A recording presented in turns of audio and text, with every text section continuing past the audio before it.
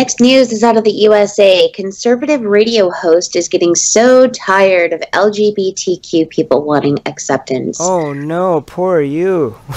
yes, she's exhausted, guys. Oh no. we need to quit getting beaten and losing our jobs. We just need to quit getting thrown out of Ubers. Uh, all for Kate Dalley. She's a radio host and devout Mormon um, who says she's very tired of the LGBTQ people getting so much attention for their alleged victimhood. Alleged, um, so, alleged victim. Alleged. Wow. Okay. So. Yeah.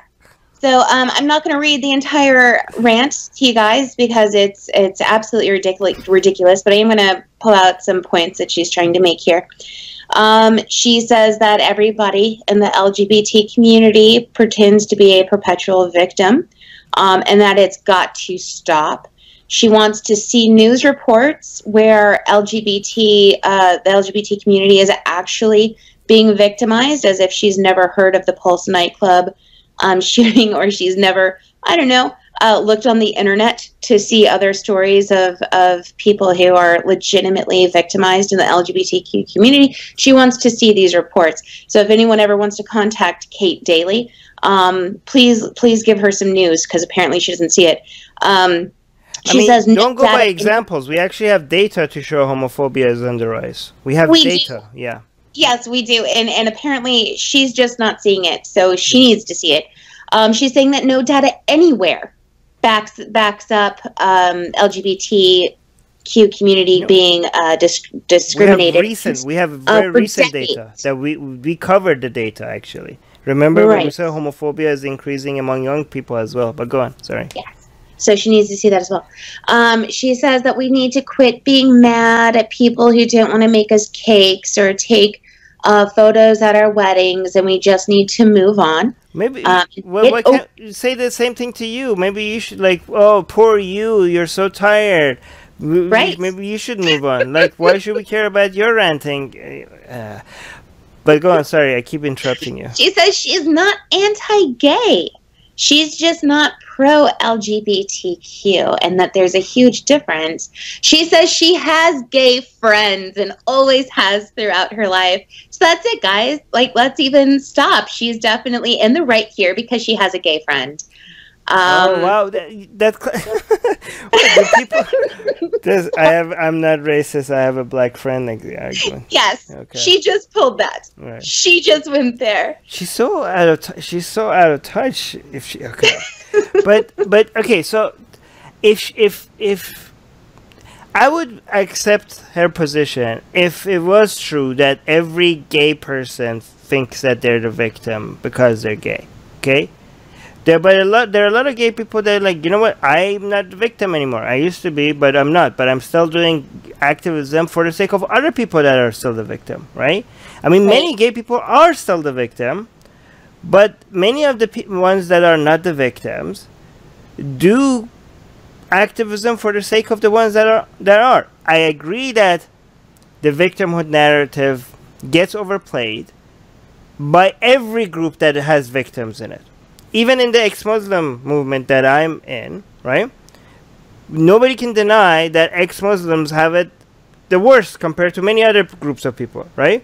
Yeah. But there are ex-Muslims out there that are not a victim of anything, right? And they are trying to play that card. It's true. But that will happen with every movement.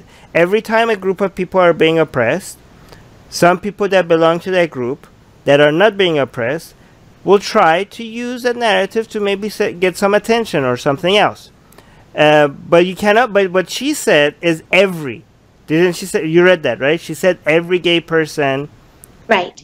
tries. To, that's not true. There. Are, it's I, just. No, it's that's not true. There are many gay people out there that are not victims but are doing activism for the ones that are. And I could tell you right now, as an ex-Muslim myself, for example, I'm not a victim of anything. Okay. I mean, uh, nobody is taking my rights away, and nobody's oppressing me, um, and I'm I'm doing fine. Um, but there are many ex-Muslims all around the world that are living in fear because they're ex-Muslims, right? So if I do ex-Muslim activism, it's not for my sake. I'm not a victim of anything, okay? and many I'm pretty sure many gay people also are living very are not being oppressed, but many of them are, and you, just because some of them aren't, you cannot deny the ones that they are. Anyways, did I, Allie? Did you want to add anything to that? No, I, I actually do want to add something because there's another layer here mm. um, that I'm not sure if I made outrageously clear or not. But Kate Dalley here is a Mormon, okay, and it's what what makes her even more despicable to me, and and how dare her for even opening up her mouth is because of what her religion that she practices so much has done to so many members of the LGBT community. Mm. So many. In their religion okay for for decades. I think it wasn't until maybe this year or last year that they're trying to turn this around. But if you came out as gay you are excommunicated from your church. Right. All right? They were one of the prime um uh they, this religion is one of the prime com- proponents of yeah uh, gay gay camps right gay conversion yeah. therapy camps and so uh how dare her after everything her church her wonderful beautiful church has done to this community for her to sit here and say she's tired, fuck her. Yeah. Okay. Yeah, you're right. And actually, you're so right because how could she be so blind to it? Like, you're right. She's Mormon, and that the, even now the amount of shaming and shunning and uh, you know and the level of you know trauma that people from the Mormon community, the gay people from the Mormon community, have to go to.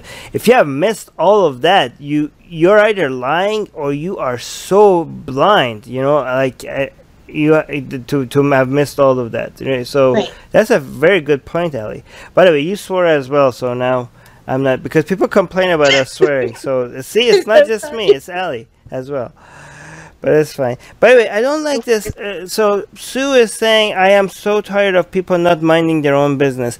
I don't like that as a comeback to people that say shitty things, because uh, why should we mind our own business? I, the problem with her is that she her comments are re- wrong. But I don't, you know, not that she's not minding her own business. I think people have every, uh, people should mind other people's businesses because we're all connected with each other, right? So I don't like that as a response, uh, as a comeback to anybody. Um, I'm getting some the second top comment is saying I'm getting so tired of people who enjoy denying others equal right. Yeah, that's a better top uh, top comment response. Um, by the way, guys, I have nothing against swearing. I, I think swearing is a very healthy th- way to get your emotions out there. The only reason why I'm trying to self censor is not because people ask, because a lot of people were complaining about us swearing. I'm not giving into that pressure. The only reason I'm giving into YouTube, our YouTube master pressure, because they don't like it and they keep. But again, we, we're failing at it because we're trying not to swear, uh, and we can't stop. We can't help ourselves. Atheists are under attack in many places. If they were Christians, their voices would be heard. If they were Jews, their voices would be heard. If they were Muslims, their voices would be heard. But they are atheists, and not many seem to be listening. Let's make it difficult for them to ignore us. We have built a global community, and now we are tearing down geographic, cultural, and language barriers so we can find each other and support each other.